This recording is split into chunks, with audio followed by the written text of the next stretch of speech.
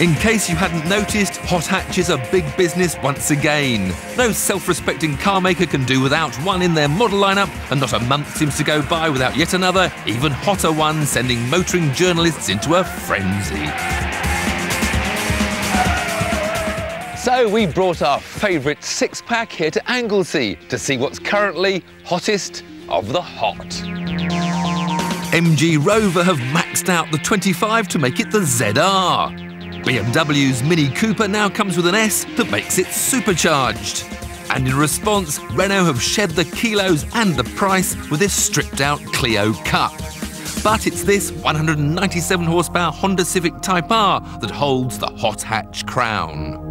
Now, though, two big heavyweights have arrived, offering over 200 horsepower the Seat Leon Cupra R and the hot hatch everyone is talking about, the Ford Focus RS. So, what's our verdict?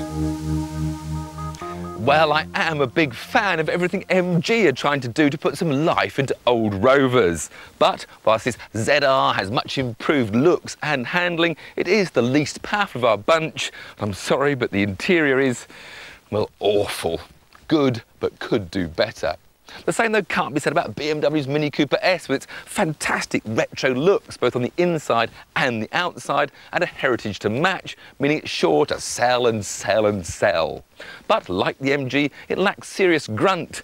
I'm sorry, but that whining supercharger is not for me.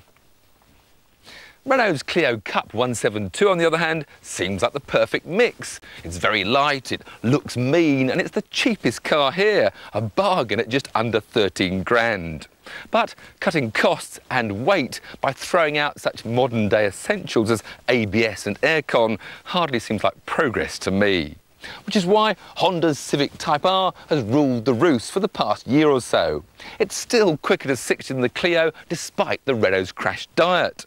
It's a full-on racer with a lightning gear change and all the joys of Honda's fabled VTEC power plant allied to edgy adrenaline-pumping handling.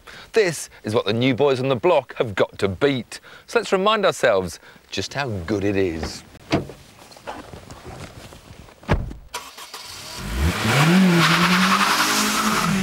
So just wait till the rev counter goes past 6,000 and then let it all the way to its 8,200 RPM limit.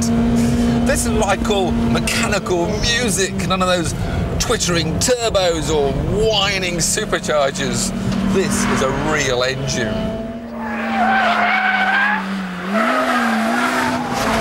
And the driving position is also so good. I sit low in a very supportive seat.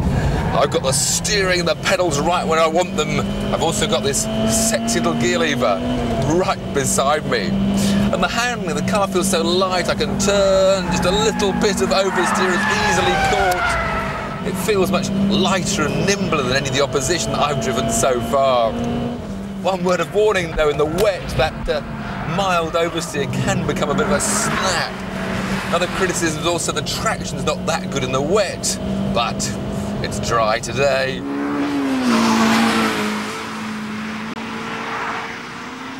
The Civic sets a target lap time of 54.9 seconds around the challenging Anglesey circuit. So, to take on the Honda, Seat have squeezed 210 horsepower under the Leon svelte Spanish uniform. Sounds good to me.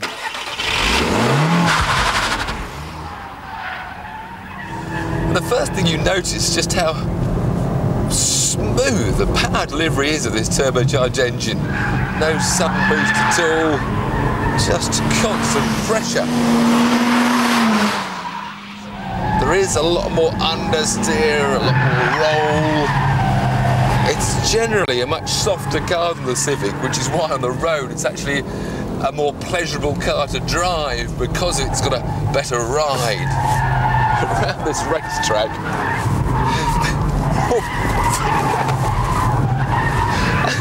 I'm having a lot of fun, but I don't think I'm going very quickly. Impressive, but not really hot. A fact underlined by lap time 1.1 seconds slower than the Hondas.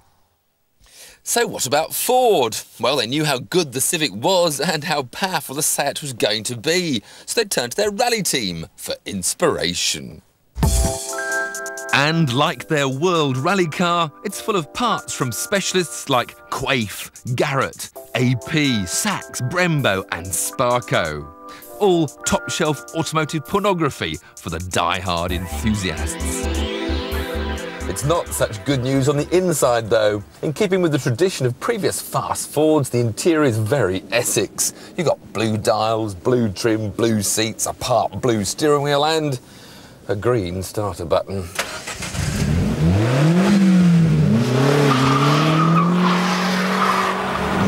But I'm not here to spend my time worrying about fashion. I'm here to feel just how good this RS is on a racetrack doesn't start well I'm sitting a bit high in these snazzy seats.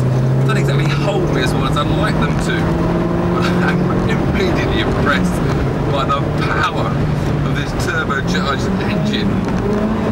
First gear for the hairpin and straight away tucks into that tight apex, good traction, this racing differential that they've developed for this car hold of the tarmac and launches this Focus forward.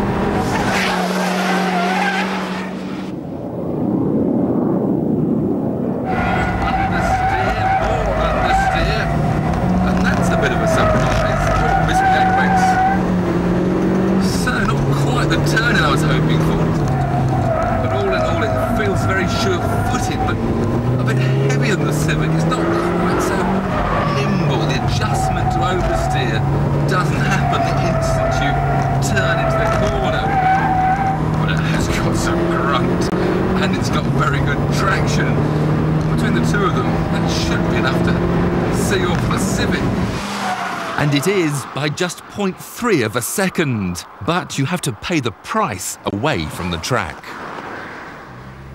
You see, on public roads, it's not quite so convincing. That race-bred limited slip differential that provides such sharpness and traction on the circuit becomes its own worst enemy. As the boost pressure chimes in and out, the steering weight constantly varies, and any little hollows or odd cambers will pull the nose of the car this way or the other without really giving much warning. It becomes a nervous drive on country roads. The ride is also very, very harsh and the damping quite severe. This is a car really only for hardcore enthusiasts.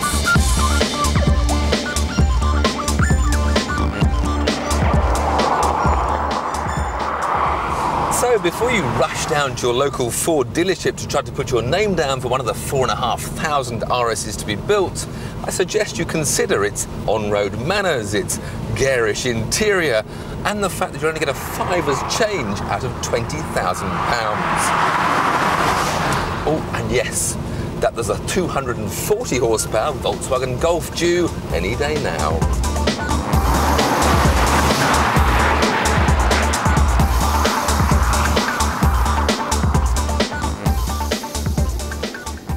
Right now though, there's no doubt the Focus RS is the hottest of the hot on the track. But the Seat is a much smoother and better mannered road car. And for me, the best compromise between the two, and still the overall king of the hot hatches, is the Honda Civic Type R.